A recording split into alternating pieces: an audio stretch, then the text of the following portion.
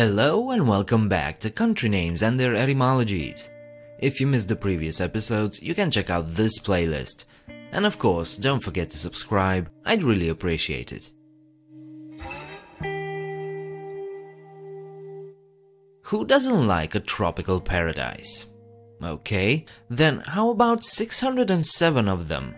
Yep, the Federated States of Micronesia is a collection of over 600 blissful Pacific islands.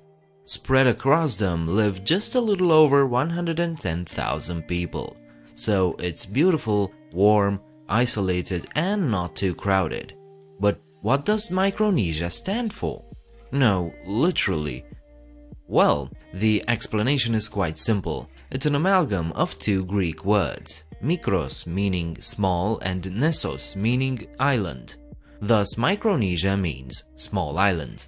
As to how a bunch of Pacific islands got a Greek name, this word was proposed in 1831 by a French explorer to distinguish this region from the neighboring Polynesia and Melanesia. And in case you were wondering, Mikros comes from Proto-Indo-European smeig, meaning small, and Nesos, well, we're not sure, but believe it could come from Proto-Indo-European snech, meaning to flow or to swim. The next country on our list is a place near and dear to my heart, cause I'm also Romanian. We're talking about the Eastern European country of Moldova. The legend says that Moldova got its name after a dog, the story goes that Dragos, the first king of Moldova, went hunting for aurochs, a now extinct species of wild cattle, and bisons. Of course, he was followed by a bunch of hunting dogs. During the hunt, all of his dogs got tired, except a female named Molda, who continued to run after its prey and eventually drowned in a river. To honor her, Dragos named that river Moldova, as well as the entire land. That, of course, is only a legend. This country and the wider historical region of Moldova did indeed get its name from the river bearing the same name, but only because the valley of this river hosted the first capital, Moldova, or Târgul Moldovei. The origin of the name is a bit unclear, but it's theorized that it comes from the Gothic German mulda, meaning mud or dust, or molde, meaning mine. Next, we visit a place so tiny you'll have a hard time finding it on maps, Monaco. Monaco is a microstate of less than 40,000 people living in an area of only 2 square kilometers. It's actually the second smallest state in the world after the Vatican City, while at the same time the most densely populated sovereign state in the world. Roughly 19,000 people live here per square kilometer, so yeah, it's a bit too crowded. Their name is an ancient one. In the 6th century BC, this place was the site of a Greek colony referred to as Monoikos, which means single house, from monos meaning small and oikos or house. The legend goes that Hercules himself visited this place, ousted the old gods, and so a temple was built here, the Hercules Monoikos. Because it was the only temple in this area, the settlement became known as Monoikos.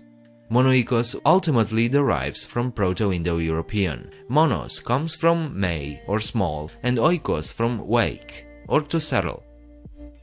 Now let's hop over to the other side of Eurasia, where we find the nation whose name struck fear into the hearts and minds of our ancestors, Mongolia. This is obviously a Latin term meaning land of the Mongols. Mongol has an uncertain etymology, possibly bearing the name of a mountain or a river. At its origins, it might stem from the word Mong, meaning brave. First attested as Mungu and previously as Munku, the name belonged to a certain northern tribe of the Shiwei people, known today as Khamag Mongol. They were a leading tribe but eventually weakened to a breaking point. The last head of this tribe was Yesugei, whose son, Temujin, eventually united all the Shiwei tribes and founded an empire. That man adopted a new name, Chinggis Khan, and his empire was the Mongol Empire. This is roughly how the Mongolic people of this region all got to be called as Mongols. Let's again jump back to Europe, where we find a small, rarely talked about volcanic country, Montenegro. First off, this place is of an exquisite beauty well worth visiting. The English name of the country is actually the Venetian name, meaning Black Mountain. The Black Mountain is Mount Lovćen, covered by dense evergreen forests which give it a dark appearance.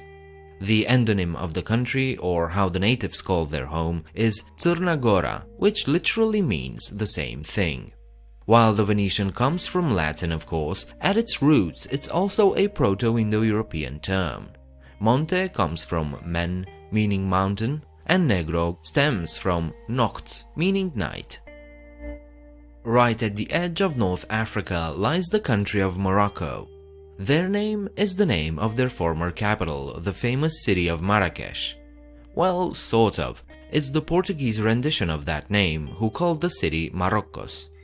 Marrakesh is actually a Berber name that was formed out of an expression, Murnakush, or the land of God. Moroccans, however, call their country by a different Arabic name, Al-Maghrib, which literally means the place where the sun sets, or simply the west. Please note that in English and most European languages, Maghrib or Maghreb typically refers to all of northwest Africa, not just Morocco. Lastly, we take a look at another African nation, Mozambique. This country was also named by the Portuguese as Mozambique, after an island bearing the same name which used to be the capital of the Portuguese colony.